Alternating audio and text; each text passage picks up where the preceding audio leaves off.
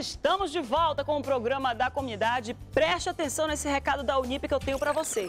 Subir na vida não é fácil, mas quando você escolhe o caminho certo, é possível superar todos os obstáculos. E na Unip você pode. Na Unip você faz a sua graduação num grupo educacional presente em diversas cidades do Brasil. Estuda com professores qualificados numa estrutura completa e pagando mensalidades a partir de 139 reais. Isso mesmo que você ouviu. Mensalidades a partir de R$ 139.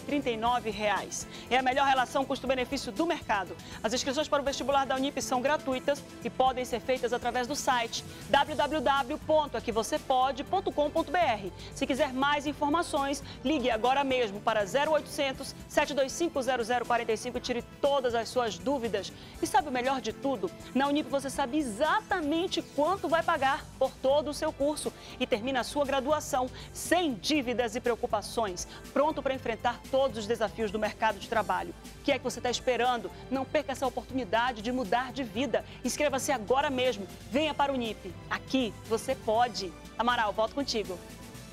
Muito bem, obrigado, Marcela Asmar. São 11 horas e 27 minutos. Você que está ligado com a gente, obrigado pela sua audiência neste bloco. O programa agora recebe aqui nos estúdios o doutor Ítalo Cortez, urologista, vai falar com a gente sobre a importância do tratamento e prevenção do câncer de próstata, que está em evidência, afinal de contas, estamos chegando ao fim de novembro. Falou-se muito sobre o Novembro Azul. Nós eh, acabamos veiculando aqui diversas matérias acerca do, tempo, do tema e nada melhor do que finalizar o mês com a presença do urologista aqui no estúdio, também para lhe ajudar a tirar dúvidas. Portanto, a partir de agora, você que está aí do outro lado pode ligar e participar ao vivo com a gente pelos telefones ou por meio do nosso número do WhatsApp, o 981 16 3529. Doutor Ítalo, bom dia, seja bem-vindo ao programa agora, prazer tê-lo conosco. Bom dia, mais uma vez,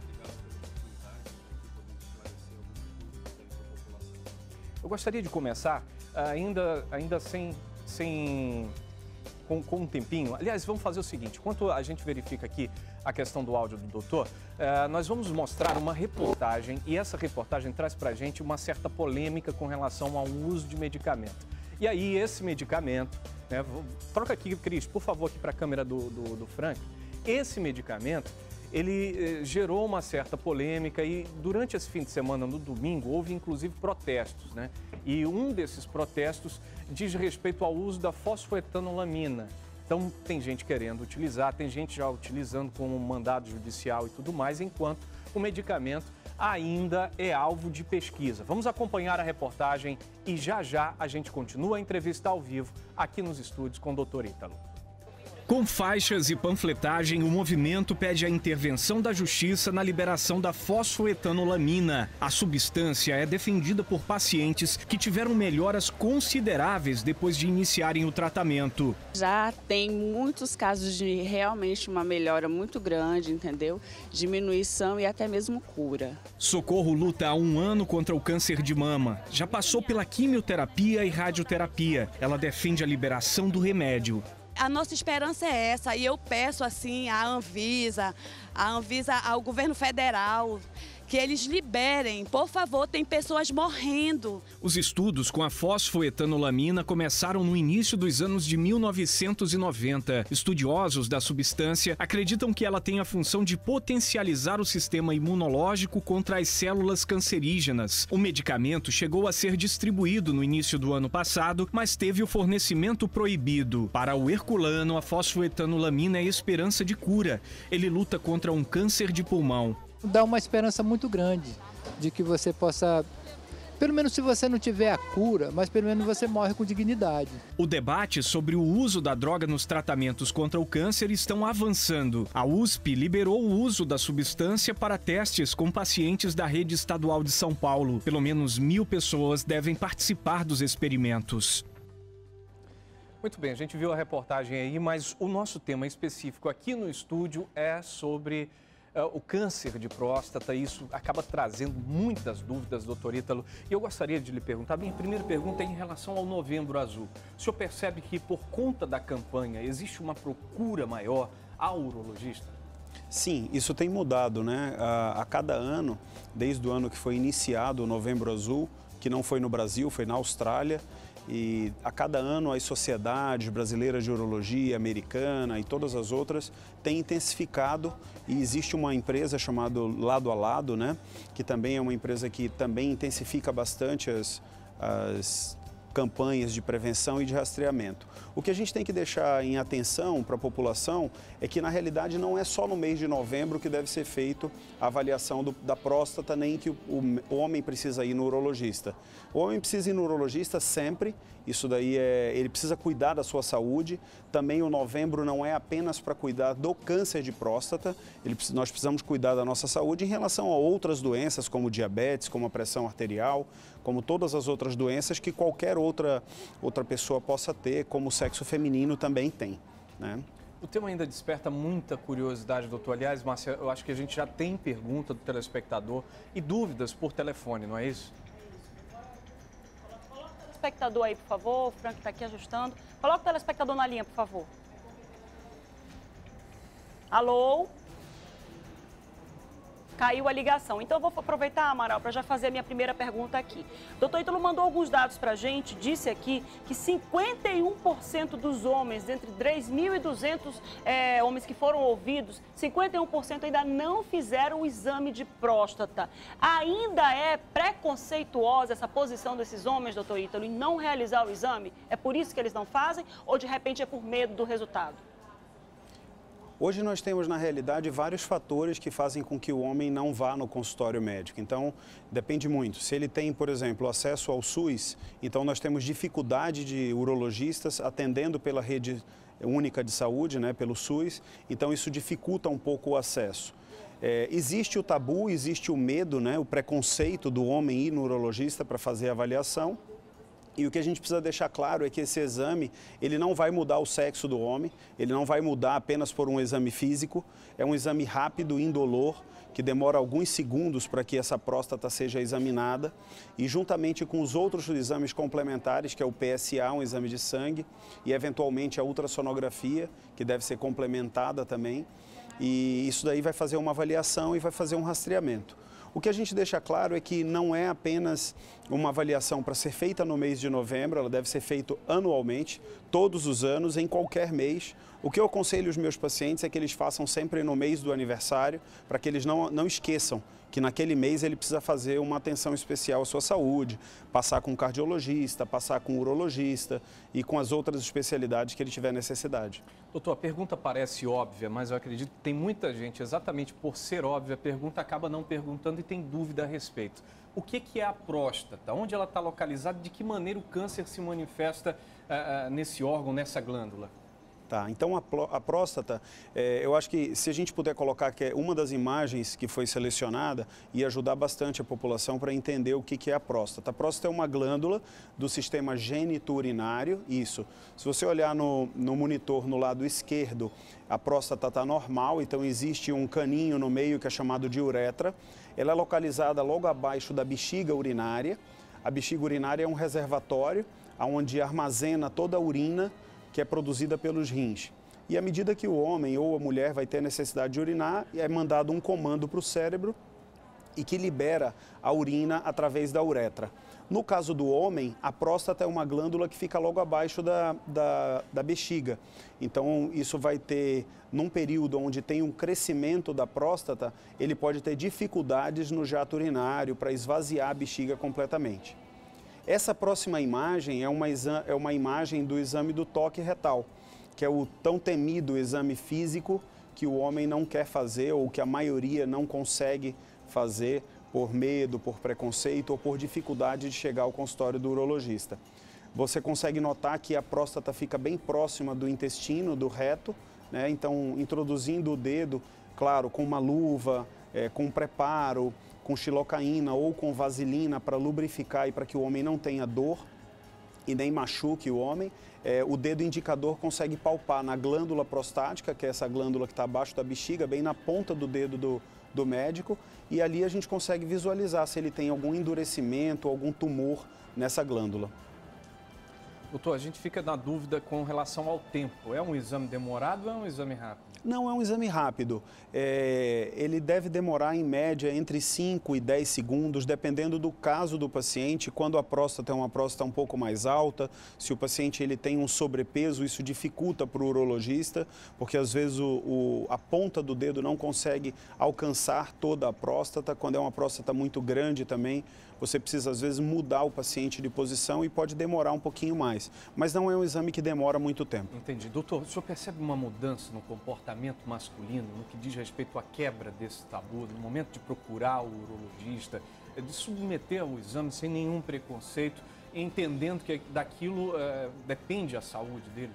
Sim, isso tem mudado. É, a gente tem percebido que cada vez mais homens, eu acho que o papel de vocês de divulgar né, do, das, das, emissoras de televisão, dos jornais, das sociedades médicas, divulgar que o exame é preciso né, para fazer o rastreamento, para detectar casos mais precoces e a gente consegue tratar melhor com uma chance de cura de até 90% nos casos bem iniciais. Então isso tem mudado. Eu acho que você, homem que nunca fez, precisa fazer, procure um médico, procure um urologista e faça o seu exame. Não deixe para depois. Você pode estar postergando uma doença mais agressiva e que pode chegar numa fase sem cura.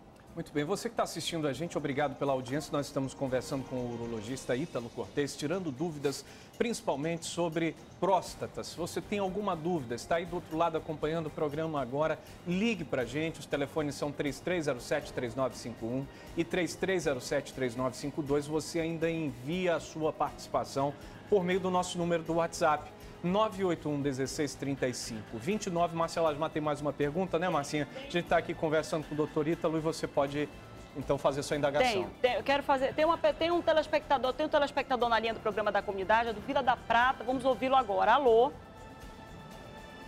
Alô? Oi. Olá, bom dia, tudo bem? Bom dia, tudo. Pode falar. Quem está falando? Eu não quero me identificar. Não tem problema. Pode fazer a pergunta. Eu quero saber do doutor, porque eu tenho um cunhado que ele está com câncer de próstata. Puxa, Puxa vida, caiu tá, a ligação? Ruim. A comunicação hoje por Vamos, telefone está é, ruim. Mas vamos... vou, eu vou pedir a gentileza dela reenviar a pergunta pelo WhatsApp, né? Então, a, a, existe aquela dúvida, doutor? Por exemplo, ah, estou urinando demais durante a noite. Isso pode ser um indício? De que eu tenho alguma alteração na próstata? Ou urinando de menos também, né? É importante a gente já abordar esses dois pontos. É, ela, ela traz a reclamação de que o, é, o, é, o cunhado, segundo ela disse aqui, estava urinando muito. Esse urinar de menos também pode indicar essa alteração? Pode significar que seja câncer de próstata? Sim, então na realidade, assim, essas alterações do jato urinário, do fluxo urinário, da quantidade de urina, a maioria das vezes no homem após os 40, 45 anos, elas estão relacionadas ao aumento da próstata. Mas a gente precisa investigar uma outra doença que também muda o fluxo urinário, que aumenta a quantidade de idas à noite no banheiro ou durante o dia, que é o diabetes, que é uma doença que tem uma incidência altíssima também na população em geral, não só nos homens, mas como também nas mulheres, e que precisa ser avaliado, porque ela tem uma alteração da taxa de filtração glomerular, ou seja, a, o fluxo de urina aumenta e o paciente fica urinando várias vezes durante o dia. No caso específico da próstata, ele tem essa dificuldade porque à noite, quando a bexiga está mais relaxada e a próstata é, obstrui completamente o canal da uretra, o paciente não consegue esvaziar a bexiga completamente. Então, com isso, ele vai ter dificuldades e vai começar a ir várias vezes no banheiro para tentar esvaziar a bexiga por completo falando aí naquela imagem que a gente mostrou ainda há pouco, é, se eu não me engano, o nome é hiperplasia benigna da, da, da, próstata, da próstata, não é isso, doutor Ítalo? Quais são os exames que diagnosticam a hiperplasia benigna da próstata? Por que, que, eu lhe pergunto isso? Porque o meu pai teve esse problema e ele chegou a ter obstrução da uretra. Certo. E a gente fez o PSA, nós fizemos ultrassonografia, ultrassom.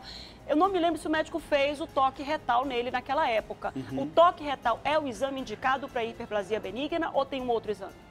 Na realidade, hoje, os exames básicos são o exame do toque retal e o exame do PSA. Alguns outros exames podem complementar a avaliação da hiperplasia e também do câncer. No caso da hiperplasia, a gente pode complementar com a ultrassonografia e complementar com um exame muito importante chamado avaliação urodinâmica. Esse, avaliação, esse exame é, uma, é um exame que faz avaliação da bexiga urinária do paciente e se ele tem dificuldades para esvaziar a bexiga completamente. Então é um exame que tem um acesso um pouco difícil pela rede pública, mas na rede privada a maioria dos locais clínicas de urologia realizam esse exame e a gente consegue ver se o paciente tem alguma alteração, não só na próstata, mas como também na bexiga, que é um músculo e que ajuda fundamentalmente no esvaziamento da urina. Doutor, a gente está recebendo também pelo nosso do WhatsApp a, a, pergunta de uma telespectadora dizendo que o pai dela está urinando com frequência e que também há presença de sangue na urina. Isso é um indicativo de, de alteração prostática? Sim, ele também é, é, é, um dos sintomas aí já num caso mais avançado da doença. Então precisa levar o mais rápido possível num, num atendimento médico, seja no urologista ou no atendimento inicial por um clínico. E outras doenças precisam ser avaliadas, todas as doenças da via urinária. Então existem doenças do rim que fazem sangramento, existem doenças no ureter, que são os dois caninhos que levam a urina filtrada do rim até a bexiga. Existem doenças da própria bexiga, né, como divertículos, como cálculos urinários dentro da bexiga, como tumores é, na uretra. Então, tudo na via urinária pode levar a um sangramento com, pela via urinária. Né? Então, a urina com sangue. Ele precisa ser avaliado por completo e não só a próstata. A gente também está recebendo uma outra pergunta, uma outra indagação pelo WhatsApp, que é, é mais técnica. O telespectador está dizendo que está no estágio T3. Se isso é muito grave? É, o estágio T3 em relação ao câncer de próstata já é um estágio um pouco mais avançado. Isso não quer dizer que ele não tenha tratamento, tá certo? Os estágios T3 e T4, eles têm tratamento. A gente não pode dizer que ele tem cura, como o estágio T1, por exemplo, mas é, precisa avaliar. É, o T3 clinicamente ou o T3 patologicamente. Então a gente entraria numa questão muito técnica, que a gente pode responder se ele tiver essa, se ele tiver essa resposta em casa. É, e aí a gente já tem tratamento para os casos mais avançados, com bloqueios hormonais ou com radioterapia e eventualmente numa fase mais avançada ainda agora com quimioterápicos. A gente tem também participação de Borba no interior do Amazonas e a Luziane e a Liliane perguntam o seguinte: se tiver algum antecedente, algum histórico na família desse tipo de problema, só deve realizar o exame após os 40 mesmo? É, na realidade, hoje, preconizado pela Sociedade Brasileira e pela Sociedade Americana de Urologia, é, os casos que têm câncer de próstata comprovado na família ou os afrodescendentes, ou seja, os negros, eles precisam fazer o exame após os 45 anos de idade. E nos casos que não têm esse histórico na família, após os 50. O que eu aconselho, isso eu gostaria de deixar claro para toda a população, que a medicina ela é uma ciência de verdades transitórias. Então, o que hoje é verdade, amanhã pode não ser mais. Ou o que no passado era mito, hoje é verdade. Isso vai evoluindo. Eu sempre comento isso com todos os meus pacientes, os alunos da faculdade, porque as diretrizes elas mudam.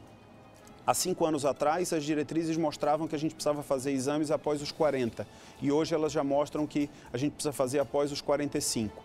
Se você tem condições, se isso não vai pesar no seu bolso, se não vai trazer nenhum malefício para a sua saúde, continue fazendo após os 40. Né? Pode ser que daqui a alguns anos essas diretrizes voltem novamente aos 40 anos. A gente tem uma, mais uma dúvida aqui de uma pessoa que está assistindo o programa da comunidade. É, eu já até já lancei aqui perguntas, já dei oportunidade para os meninos aqui do estúdio para fazerem pergunta. Nada, Carlinhos, tem uma pergunta para fazer? Doutor Ito, aproveita porque a hora é agora, viu? Logo avisando. São 11 horas e 43 minutos e ela está perguntando o seguinte: a esposa de um paciente, né? E ela está dizendo que ele tem muita dor no testículo. E aí eu quero lhe perguntar: o câncer de próstata pode ocasionar dor no testículo? E se não, o que seria o problema dele? Normalmente não. É, normalmente não causa dor no testículo. É, a próstata ela tem uma relação bem indireta em relação ao testículo, apenas por uma questão anatômica, né? A parte geniturinária tem relação a parte eh, genital, desculpa, tem relação entre testículo e próstata, mas a parte urinária não. A urina não passa no testículo. O câncer de próstata normalmente não dá dor no testículo, ele, dá, ele já dá dor numa fase muito tardia da doença, né? ele não causa dor inicialmente, apenas quando nos casos mais avançados ele pode dar dor na parte inferior do abdômen ou até mesmo na região perineal, que é entre o testículo e o ânus, mas especificamente no testículo não. Existe uma doença, várias doenças na realidade, que causam dores no testículo, como por exemplo a varicocele, a hidrocele, a hérnia, quando muito volumosa. Então, outras causas podem ser diagnosticadas, outros problemas podem ser investigados no caso do seu esposo a respeito da dor no testículo. E se for uma dor muito intensa também, pode se pensar na torção testicular, né, doutor? É. Que pode levar, inclusive, à morte do testículo, né? Exatamente. Tem que se investigar isso aí, né? Nós temos outro telespectador na linha do programa da comunidade. Alô? Alô? Quer se identificar? Pois não. Quer Eu se identificar? Oi? É o Pedro, Petrópolis. Petrópolis, Pedro. Oi, Pedro, tudo bom? Pedro do Petrópolis. Pode fazer a pergunta, Pedro. Tudo bem. Tá, eu queria saber do doutor o seguinte seis, eu tenho 60 anos, de seis em seis meses eu passo exame de sangue. Eu levo para o clínico, ele diz que está normal. Mas mesmo assim, eu tenho que fazer o toque, o exame do toque. Pedro, a sua pergunta é extremamente importante, tá? Eu acho que vale a pena. Isso vai beneficiar muito dos, dos homens que estão nos assistindo. É, o PSA, que é esse exame de sangue que você faz com o clínico, ele não exclui os cânceres de próstata entre 15% e 20% dos cânceres de próstata não são detectados pela elevação do PSA e a gente consegue detectar pelo exame do toque. Então, o que é aconselhável é que você, a cada ano, pelo menos uma vez por ano, faça o exame do toque retal com o urologista. A gente tem também um telespectador participando e ele diz o seguinte, doutor: ele fez o exame de ultrassom, no exame apresenta características boas, está tudo bem, mas ele pergunta: pode confiar na ultrassom ou precisa fazer o toque? Precisa fazer o toque. Hoje, assim como o PSA, a ultrassonografia tem uma chance de erro é, bem grande. É, ela não é um exame específico para detectar câncer, ela é um exame específico para avaliar o tamanho da próstata e nem todas as próstatas que são grandes são câncer, assim como nem todas as próstatas pequenas podem não desenvolver câncer. O tamanho, nesse caso, não é documento.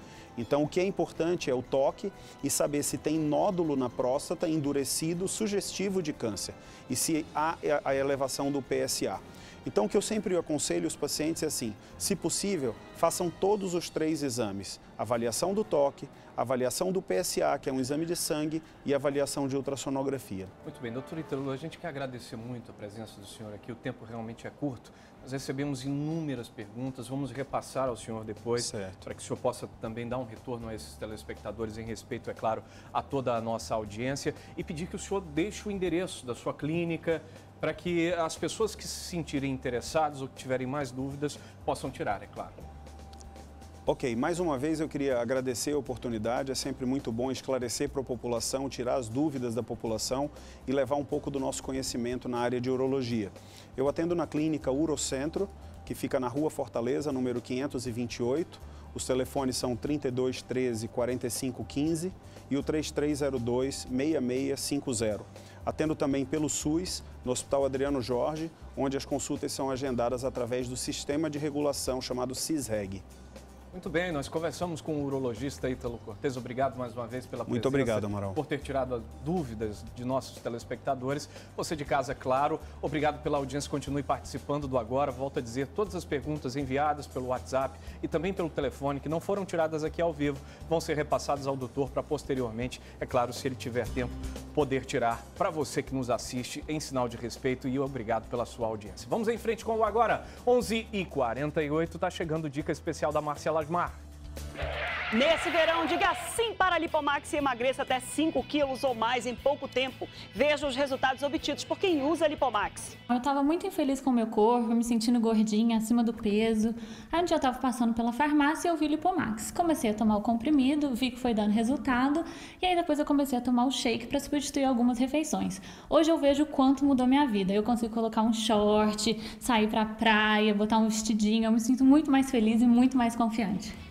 Viu? Com o Lipomax você emagrece mesmo. Os comprimidos de Lipomax Plus agem no controle e redução do apetite, na eliminação da gordura abdominal e no funcionamento do intestino, ajudando na redução do peso. Já a Lipomax Shake substitui até uma refeição e você vê resultados em pouco tempo. Agora, para emagrecer ainda mais rápido, associe Lipomax Plus ao Lipomax Shake e emagreça mesmo. Lipomax Shake é prático, vem assim, olha, em sachê e possui leite desnatado, podendo ser preparado em qualquer qualquer lugar.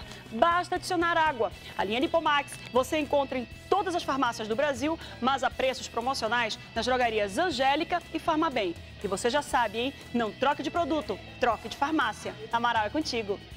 Obrigado, Márcia. 11 horas 49 minutos. Na tela do programa, agora imagens de Parintins que mostram a transferência de um dos membros de uma facção criminosa que opera o tráfico de drogas na capital e que tem ramificações no interior. Ele cobrava dívidas de tráfico na cidade de Parintins, está sendo transferido para a capital amazonense e já já depois do intervalo o programa agora traz esse e outros destaques de polícia. 11 horas 50 minutos. Obrigado pela sua audiência. O Agora volta já já.